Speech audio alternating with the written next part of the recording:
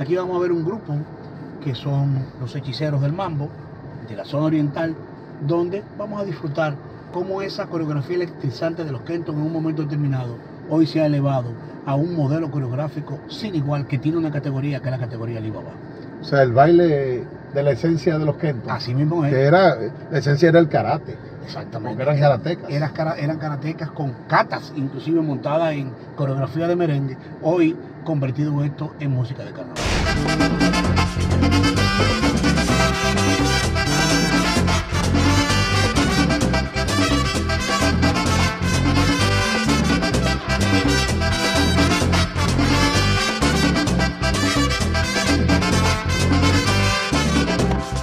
Sí, eso también enriqueció el te- el- la forma de bailar el merengue y, y los frentes de las orquestas. Así es. Eh, Porque eh, originalmente habían cantantes, pero no tenían esa capacidad de, de movimiento.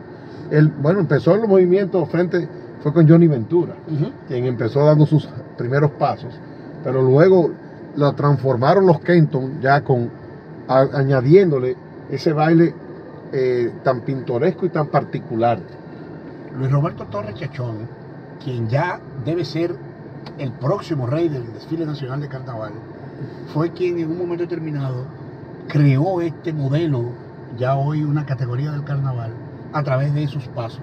Chachón, un bailador de salsa impresionante, encontró un turbante, encontró una sábana en el patio de la casa, se vistió de árabe, él que usaba barba en esos tiempos, esta barba era muy copiosa, y dijeron, ay, pero se parecen a los Alibaba, y de ahí se pegó, y eso lo cogieron como tema. Fíjate cómo es eso, Alibaba y los 40 ladrones.